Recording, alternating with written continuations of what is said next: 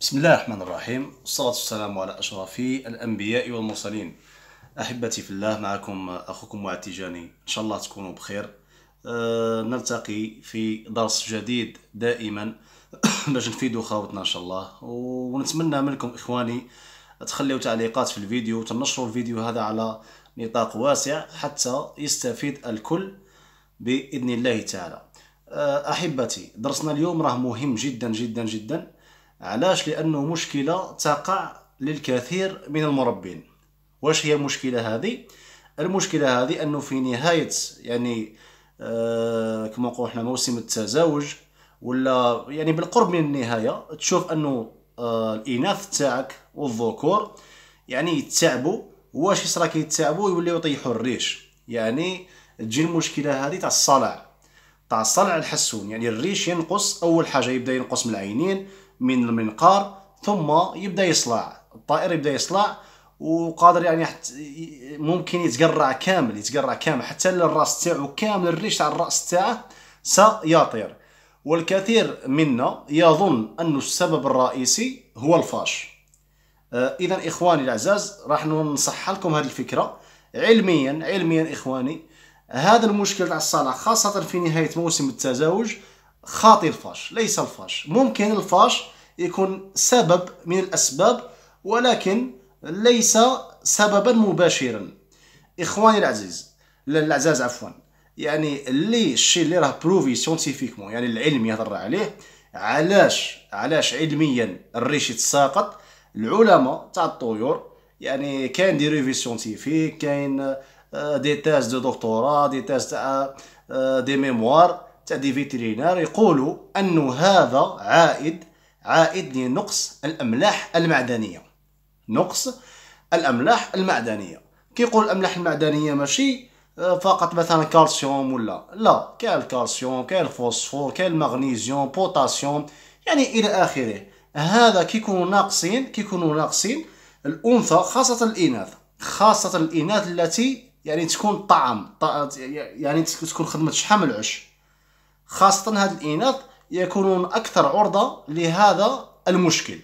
لهذا إخواني نعطيكم بعض النصائح بإذن الله تعالى اللي تطبقوها وبإذن الله بإذن الله راح تنساو هذا المشكل. هذا المشكل ما راحش يوقع لكم إن شاء الله مرة أخرى. أول حاجة إخواني يلزم يلزم نوفروا مصدر للأملاح المعدنية سواء طبيعي سواء بالمكملات الغذائية. يعني كل واحد حر إخواني الأعزاء كل واحد حر. راح نعطيكم الطبيعي الطبيعي تقدروا تجيبوا رمل البحر تقدروا تجيبوا التراب الأحمر عظام السيبيا آه زيد. يعني بعض آه أيضا الخضار ما تنساوش الخضار إخواني خاصة البروكولي البروكولي اكدوا على البروكولي. البروكولي هو المصدر يعني الأكبر للأملاح المعدنية في الخضار في الخضار. صحيح خوتي ولكن إذا كان عندكم هذا المشكل بزاف تقدروا تستعملوا بعض المكملات الغذائية الطبيعية مثل نعطيكم مثال الكالسيماكس الكالسيماكس اللي راكم تشوفوه هنا تقدروا تستعملوه إن شاء الله. كيفاش تستعملوه إخواني العزاز؟ نوري لكم طريقة التقديم إن شاء الله باش هكذا يعني نكونوا واضحين. تجيبوا ال pâtée إخواني. bon ال pâtée إخواني العزاز أنا هنا نستعمل pâtée أحمر. راني است... هذا بالنسبة ل لطيور يعني من نوع كناري lipochrome أحمر. يعني هذا راني نستعمله للموزايك آه، باش تكونوا متفاهمين إخواني الاعزاز ولكن نتوما إذا ما عندكمش الموزايك كلشي تقدروا تستعملوا pâtée أبيض pâtée أبيض خالي من من الملونات هذه. معليش أنا راح نعطيكم إن شاء الله مثال كيش تستعملوا إن شاء الله le كالسيماكس. إخواني الاعزاء le كالسيماكس هذا تقدروا تستعملوه في الماء أو تستعملوه مع ال pâtée ال pâtée.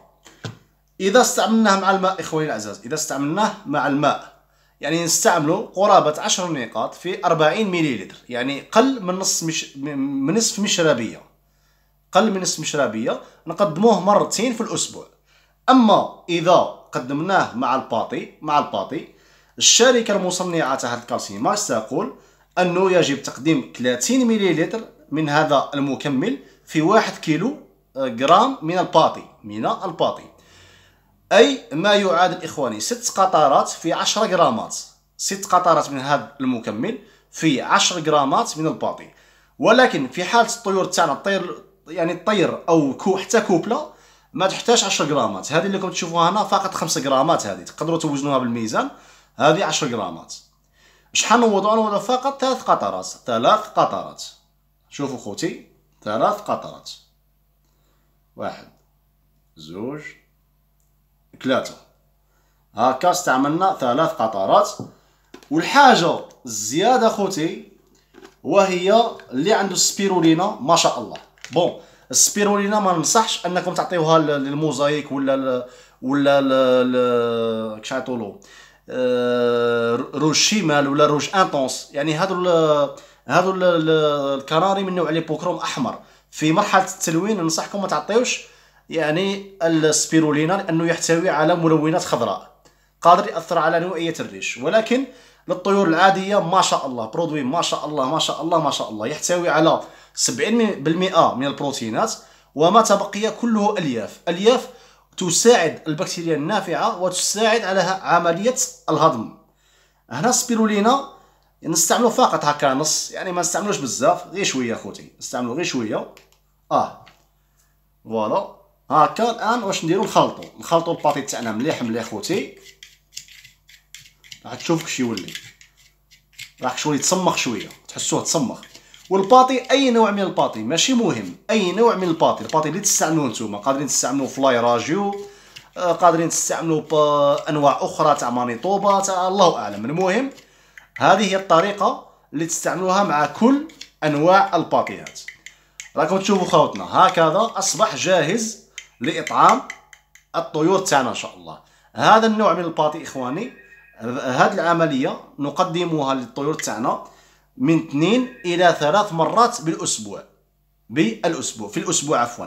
وهكذا بإذن الله بإذن الله ما راحش تشوفوا يعني ما راحش تواجهوا مشكلة الصلع عند الطيور. آه هذا كملنا مع خوتي كاين أيضا شيء آخر. إذا شفتوا يعني الطيور تاعكم في نهاية يعني موسم التزاوج هذا آه تشوفوا أن الطيور تاعكم تفابلات تفابلات خوتنا واش نديرو هنا؟ نقدم متعدد فيتامينات متعدد فيتامينات لأن الطير كي يخدم بزاف ويجي نهاية الموسم يتعب يتعب.